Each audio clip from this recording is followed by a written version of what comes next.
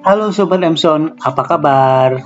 Pada perjumpaan kali ini, kita akan membahas mengatasi error mesin J5 pada mesin Fuji Xerox Loku Center S2110. Ya, sering kali error begini ya teman-teman. Teman-teman tidak usah panik, cukup ikuti aja tutorial berikut ini. Seperti ini ya errornya teman-teman. Jika fotokopi kalian errornya J5 pada mesin fotokopi Doku Center S2110 tidak perlu panik.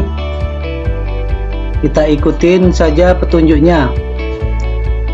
Di petunjuknya itu artinya mesinnya tidak detect drum mesinnya tidak detect jadi kita harus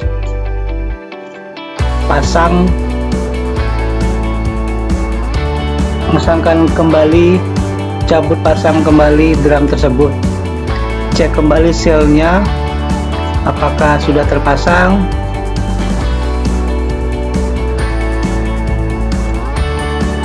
Apakah masih terpasang ataukah sealnya sudah di sudah dicabut.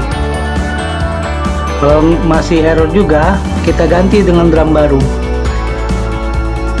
Ini contoh drum barunya. Kita ganti. Kita matiin hidupkan. Kemudian kita ganti dengan yang baru. Oke mungkin itu saja ya teman-teman. Sampai jumpa kembali di video berikutnya. Bye bye